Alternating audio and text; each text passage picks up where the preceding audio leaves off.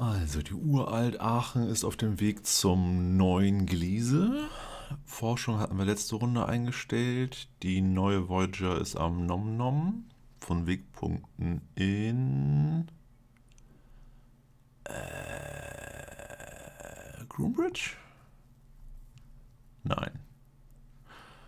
Wo ist die Voyager gerade? Also die Voyager 1. Im 61 Zygni-System. 61 Zygni, da ganz oben hier klappert sie nach und nach ab. Äh, die Voyager 2 und 3 warten auf Sprit, ja. so traurig. Äh, gut, die machen nichts. Äh, Kampfschiffe stehen rum, da kriegen wir bald Verstärkung, damit auch Luna ne, keine Probleme macht. Cargo Fleet 1 hat, nee, hat keine Befehle, genau wie Fleet 2 keine Befehle hat, wegen Spritverbrauch. Und alle Terraformer, die Terraformer sind in Gliese, in einem alten Gliese, 892. Und die sind alle bei Venus. Nur mal so Neugier halber, da wir jetzt ja doch recht viele Tage übersprungen sind. Wie, wie geht es bei Venus? Sind wir jetzt dann schon vielleicht schon Richtung 24? So, so ganz vielleicht? Nö. Oh, doch. Atmospheric Pressure ist bei 23. Wir haben angefangen bei 25. Also es geht. Temperatur ist eher gerade ein Problem. Ja, das wird sich auch nicht so super schnell ändern. Also wir könnten irgendwie Frigusium reinpumpen, aber ich würde ungern jetzt noch mehr Druck da drin aufbauen. Also nö, einfach nur immer weiter CO2 rausnehmen. Aber es ist positiv. Also wir haben noch bestimmt 50 Jahre was dran zu tun, dass nur der Druck weggeht. Aber es ist ein Anfang. Ja, wir haben auch wo sind Terraforming Stations da? Elf Stations bisher erst. Aber wir haben schon alle Arbeiter, die daran arbeiten. Also es bringt auch nichts mehr, Terraforming Stations herzubringen. Ich habe keinen Auftrag mehr für Terraforming Stations bei euch, ne?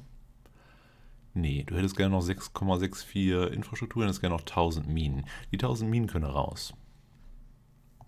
Ja, weil wir haben keine Arbeitskräfte über die Minen äh, ne, benutzen könnten. Das war ein Denkfehler meinerseits. Bei Gliese werden wir später welche haben. Und das war's. Der Rest braucht noch. Äh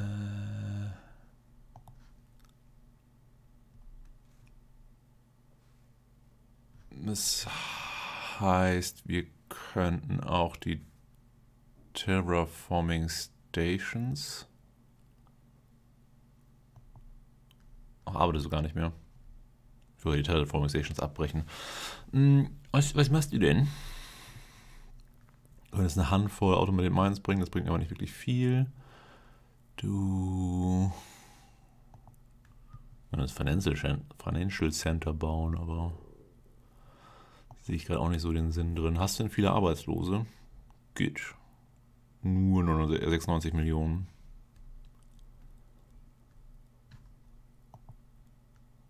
Äh, Construction Factory. Die ging. Ja, das liebe ich doch. Fabriken zu bauen, um mehr Fabriken zu bauen, um mehr Fabriken zu bauen. Create. Also Neutronium hat sich gut erholt, dank dem Kometen Nummer 1 in Proxima Centauri. Bei Proxima, ne? Ja. Also 1000 Stück. Das brauchen angeblich drei Jahre, aber es geht immer schneller, also ist okay. Äh, Luna baut nichts, Mars baut nichts, Venus baut nichts, die bauen alle nichts. Richtig so. Also Forschungsschiffe, Industrie haben wir soweit durch.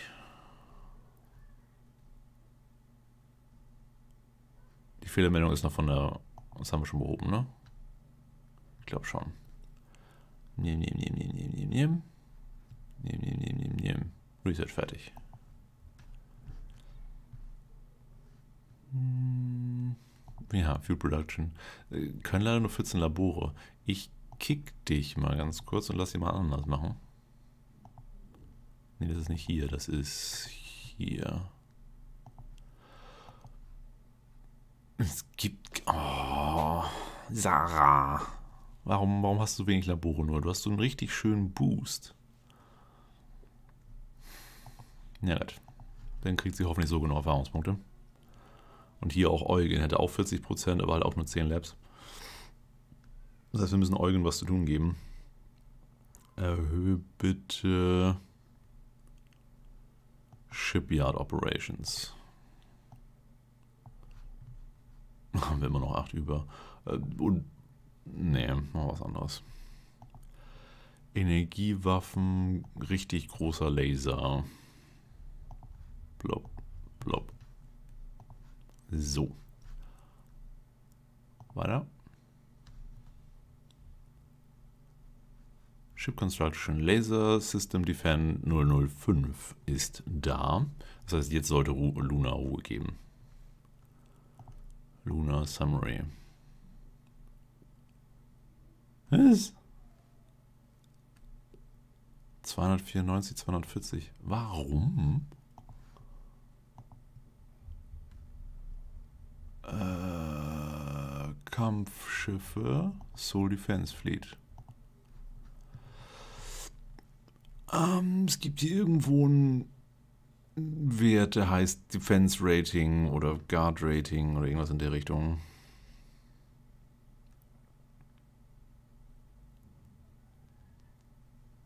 Hm.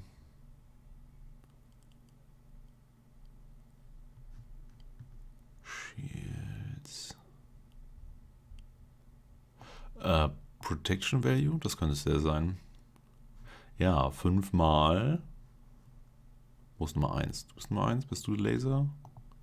Du musst umbenannt werden. Erstmal nennen wir den hier um, aber benennen ihn gar nicht um. Das nehmen wir zum Copy-Pasten. Und dann benennen wir dich um zu 01. Ja, also wir haben fünf Stück, die jeweils 40 bringen, sind 200.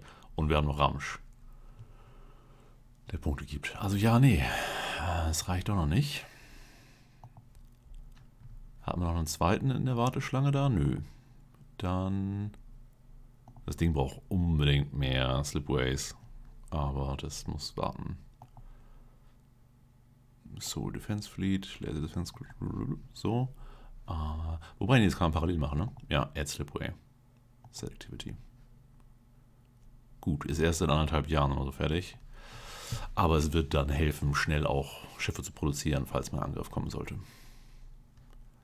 So, Voyager 1, wie sieht es spritmäßig aus?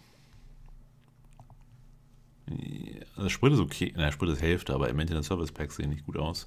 Nee, unterbrich mal, was du da gerade tust. Remove all. Standing Orders sind aus.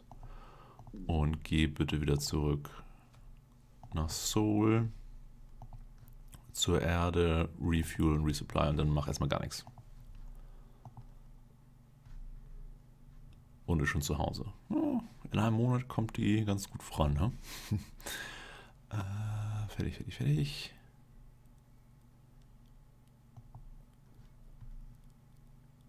Unrest ist auf 65%. Na gut, aber Luna produziert nur ein bisschen Geld.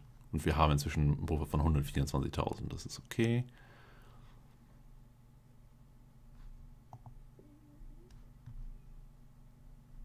Voyager 1 hat Shoreleave beendet, sind also völlig entspannt. Wir haben einen neuen Forscher für Ground Combat, aber ist nicht ganz so wichtig.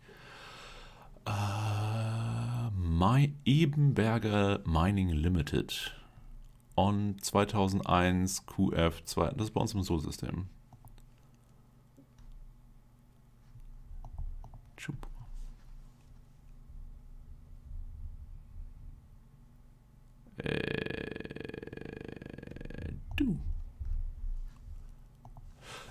Genau, ich könnte das mal als Gelegenheit nehmen, nochmal unsere zivilen Minen zu überprüfen. Ich denke nicht, dass sich jetzt irgendwas verändert hat.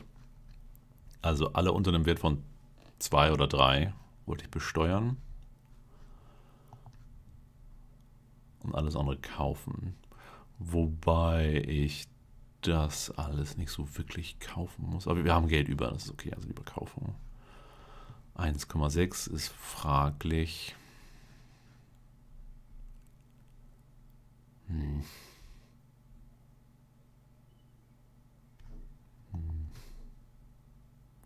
Solange ich im Plus bin, kaufe ich das noch auf. Aber die stehen hier alle auf der Kippe. Alle unter zwei. Außer sie, also hier Neutronium, sorry, das würde schon eher gekauft werden, weil das halt recht viel brauchen. Genauso wie Corundium und Boronit, hatten wir festgestellt, glaube ich. Boronit müsste für die Fuel Refineries sein. Du bist besteuert, ja. Besteuert.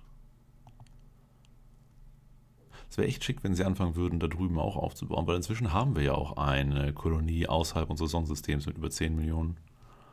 Aber da kommt gerade nichts. Warten die vielleicht auch, dass ein Sprungschiff für die irgendwie an dem Tor ist? Also sie brauchen es nicht, weil es ja stabilisiert ist, aber wer weiß, wie die KI da arbeitet. Hm, okay, besteuert, äh, gekauft, gekauft,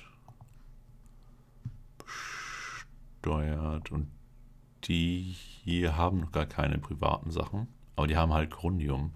Das ist bei uns im Sonnensystem. Warum haben wir da noch keine Autominer hingeschickt? Titan. Ja, ist nur wegen Neutronium. Ähm, hier, Stefan Otherme. Achso, der ist bestimmt ganz draußen, ha? Ich stinke schon. Stefan, wo bist denn du? Es ist transneptunisch. Ähm.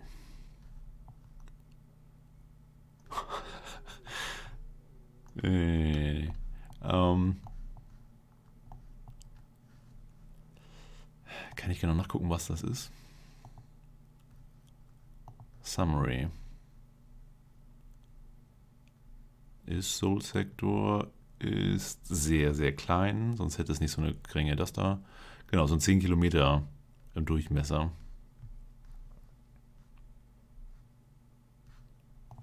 Sollte lieber hier gucken.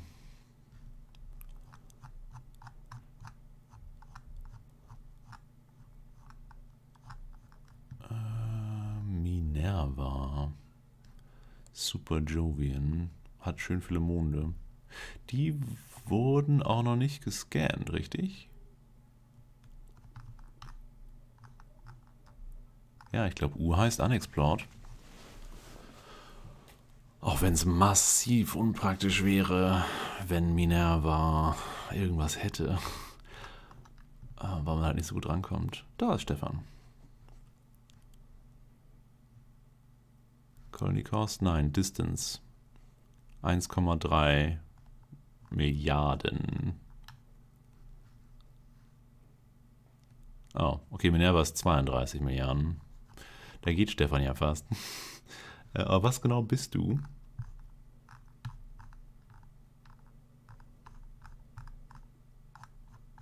Du bist kein... Du bist ein Komet, oder? Also, steht dahinter, ne? Ja, bist ein Komet.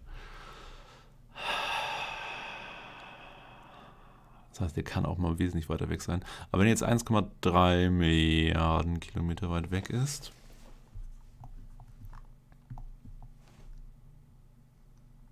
müsste eigentlich hervorgehoben werden. Ich könnte raussuchen, dass hier einfach alle Sachen ausgeblendet werden, die keine Kolonie haben. Also Mineral Packets erstmal alle aus. Dann äh, Mineral Concentrations aus, ist eine Überlagerung. Asteroids with mining colonies only? Nö.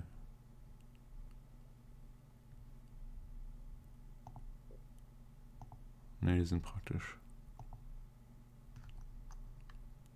Das sind die Kometen. Aber ich finde es wohl Stefan nicht.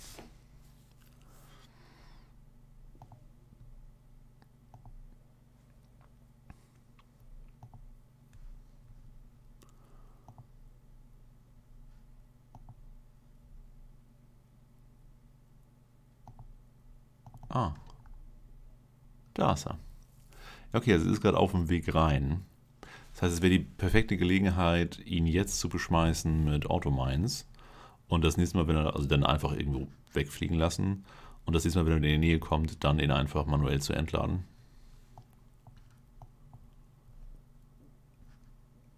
Ja, warum nicht? Uh, Wolf Harrington hat 190 im Angebot. Komet 1. Oh, hat die doch nicht mehr in der Anforderung. Okay. Ja, nee, dann macht trotzdem mal ganz kurz hier. So, und Erde müsste noch bitte ein... Wir müssen nicht gar nicht warten, dass er nach Hause kommt. Wir können einfach einen Mass Driver hinschicken. Und...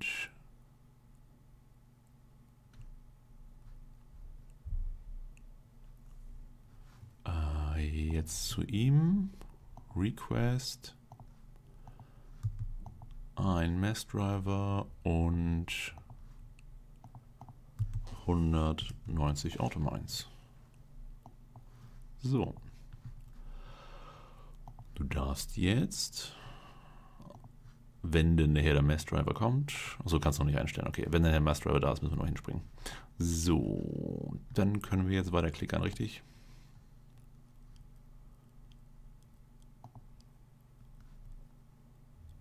Neutronium 216.000 Accessibility 1. Oh, das ist lecker. Das ist lecker, lecker. Das ist das neue Gliese.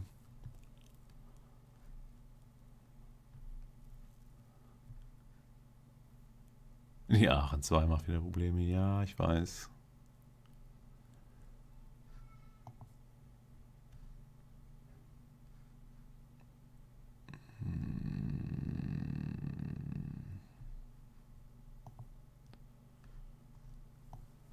Oh, da haben wir viel. Ähm, alles noch in Gliese. Unwichtig. Ui, schön großer Vorrat, aber schwer abzubauen. Ja, oh, 1,8 Millionen Uranium.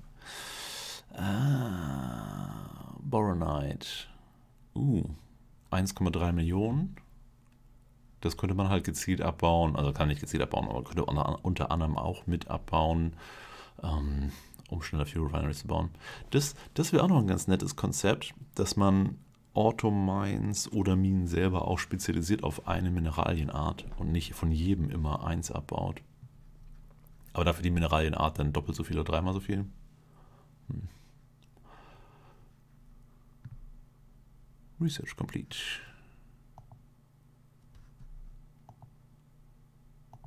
Dann machen wir doch gleich nochmal Fuel. Wieder von ihr, wieder mit 14. Haben wir den langsam ein bisschen weiter auf der Erde. Das waren jetzt drei, vier Monate, die ich rumgeklickt habe. 14 Millionen. Das sieht doch schon gut aus. Okay, dann Voyager, Erde. Also du hast schon einen Refuel-Auftrag, ne? Ja, die, die Voyager 1 ist durch. Dann du, Erde, Refuel und Resupply, Voyager 3, Erde, Refuel und Resupply. Springen wir fünf Tage vorwärts. Job, 2 und 3 sind fertig. Ja, sind sie auch aufgefüllt? Yep. Yep. Okay. Wir können jetzt endlich mit drei davon auf einmal was machen. Äh, wir springen also mal durch drei Löcher. Wir könnten auch weiter scannen in Sydney zum Beispiel, warum auch immer da noch keine Prozentanzeige ist. Mhm. Aber nö, ich springe lieber durch Groombridge und LHS. Das heißt Voyager 1, Groombridge, Unexplored, Jump, LHS, Unexplored, Jump. So, du, LHS, Jump. Und innerhalb von den paar Klicks habe ich jetzt festgelegt, dass mit dem nächsten Klick auf der Karte hier oder man sagt hier, gleich drei ganz neue Sonnensysteme aufploppen, ohne dass wir ein halbes Jahr warten müssen, jeweils an den verschiedenen Enden. Das ist schön.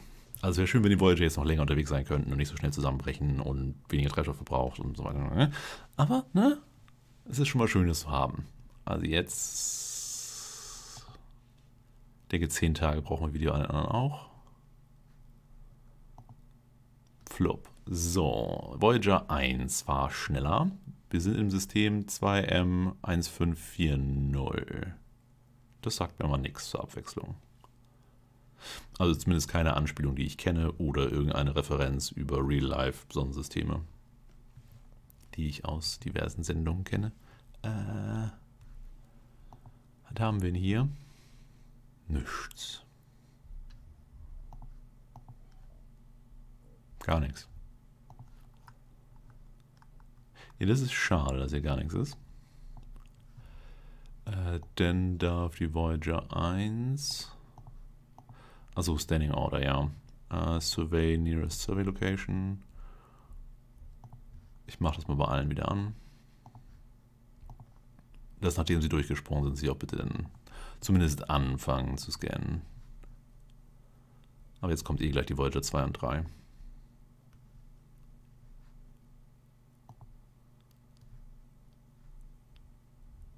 Oh. Voyager 2 hat eine neue Verbindung zu dem Bernard-Stern-System aufgebaut. Oh. Ähm. Ähm. Okay. Das heißt, die Voyager 2 springt jetzt bitte bei dem alten Gliese noch da rein, um zu gucken, wo es da weitergeht.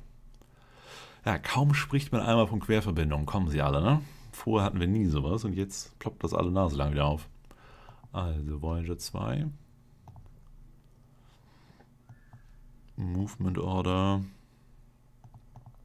Gliese Unexplored Jump.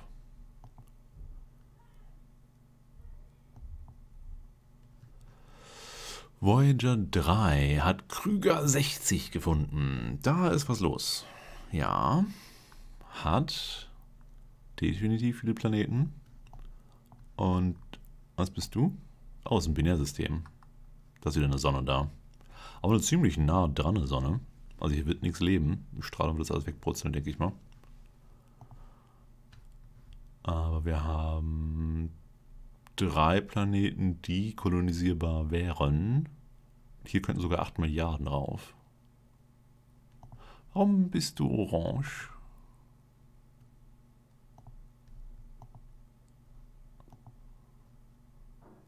Mercury ist auch orange. Weil es zu heiß? Nein, das hat mit Temperatur nichts zu tun. Hm, das weiß ich jetzt nicht. Das ist das Falsche. Äh, Krüger. Da. Äh, ja, also drei schöne Planeten bisher. Als Urlaubsziele oder Kolonien, die einfach nur Geld produzieren. Ob die jetzt noch was Schönes haben, ist eine andere Sache. Aber ich glaube, ich schicke mal die Voyager 3 manuell dahin. Willst du den Monden? Ja, okay. Ich ticker das mal. Asteroid 117. Ein Sorium mit Accessibility von 1. GZ. Ja, wobei hier, das ist gut. 10.000 Gerundium mit Accessibility von 1. Äh, ich wollte eigentlich das so durchklicken lassen.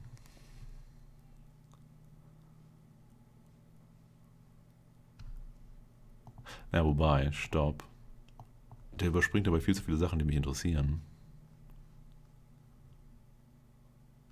Ja. Das wird leider nicht gefiltert, wenn sie irgendwelche guten Sachen finden. Also das ist der eine, den wir gefunden haben, der war doof. Äh, aber hier, Mercassium, 1,5 Millionen ist okay. Sorium mit Accessibility 1, wobei das haben wir recht häufig, dass es leicht erreichbar ist. Der Rest ist egal. Nee, dann mache ich wieder die alten Sprünge hier.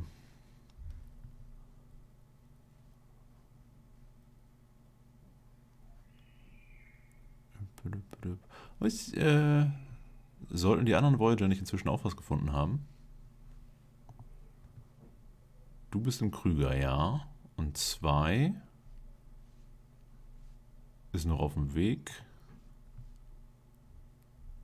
Und du bist am Scan. Ne, okay, dann weiter. Shortage of Neutroni. Was? Wir hatten noch 12.000 vor Ort. Ja, so viel dazu, okay. Construction Facilities. abbrechen.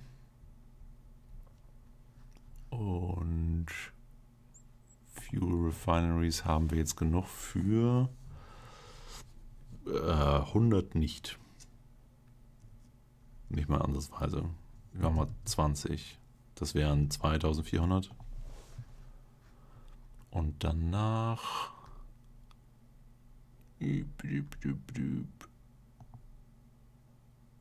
Noch mehr Military Academies? Nee.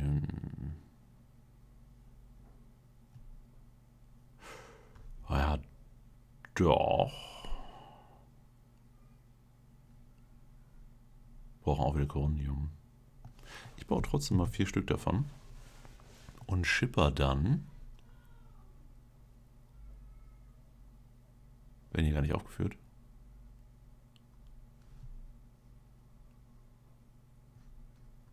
Military Academy vier Stück. Ähm, und schipper dann zwei oder drei davon rüber nach Luna.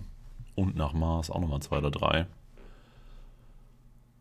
Äh, dann könnte man nämlich theoretisch die spezialisieren. Ich weiß noch nicht, ob ich es machen werde, äh, aber es hat halt so ein gewisses Flair, wenn man sagt, okay, wir haben jetzt Offiziere von der Erde, Offiziere vom Mond, Offiziere vom Mars und all sowas.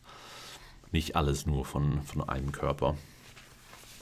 Hm, ja, so weiter.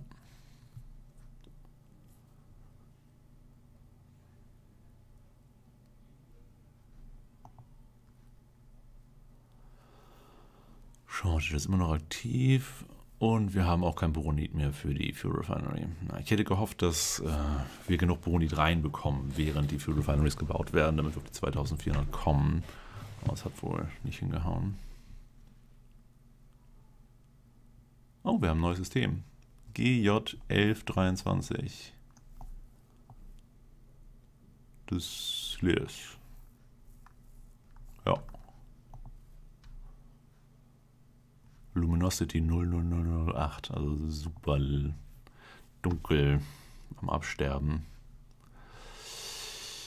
Äh, zeig mal uns her, wo das ist. Das ist da hinten. Hm. Ja, okay, machen wir weiter.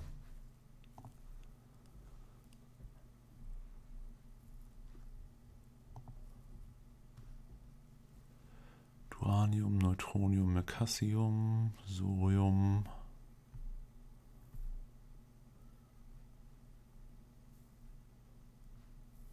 Mineral Shortage, ja, ist bekannt. Weiter. Äh, viel zu klein. Schön viel, aber viel zu wenig. Äh, das ist jetzt, genau, Krüger 60.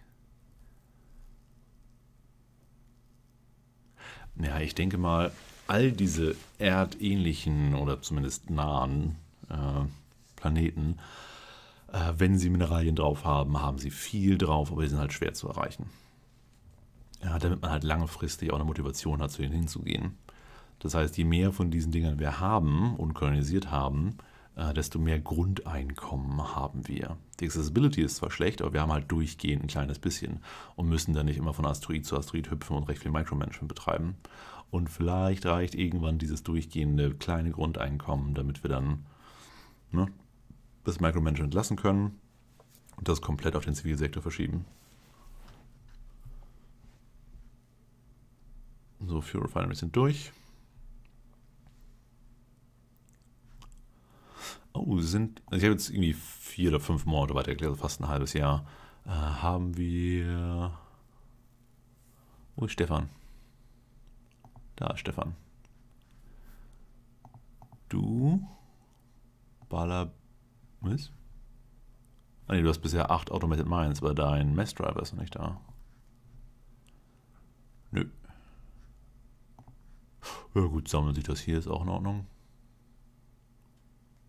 Die 70.000 werden uns gut tun, wenn sie angekommen sind auf der Erde. Stockpile 0. Ach ja. Achso, das kann jetzt auch alles wieder rüber zur Erde. 0. 0.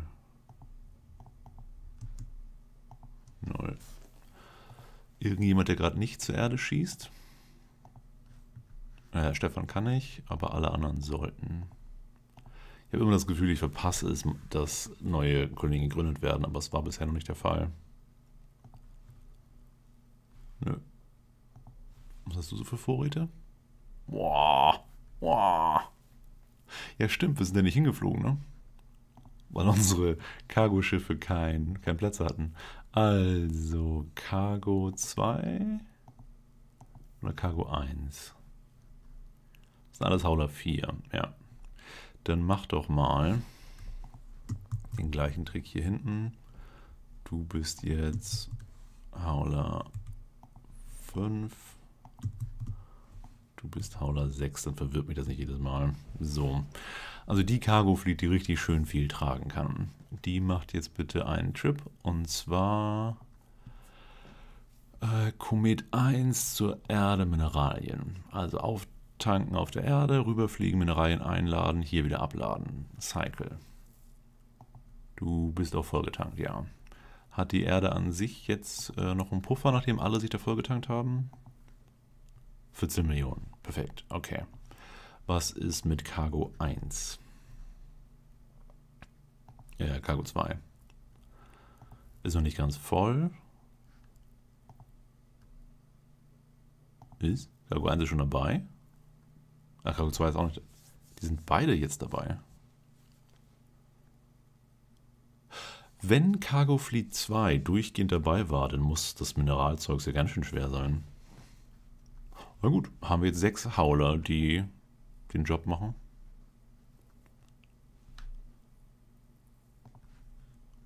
Umso mehr Mineralien kriegen wir. Alles gut.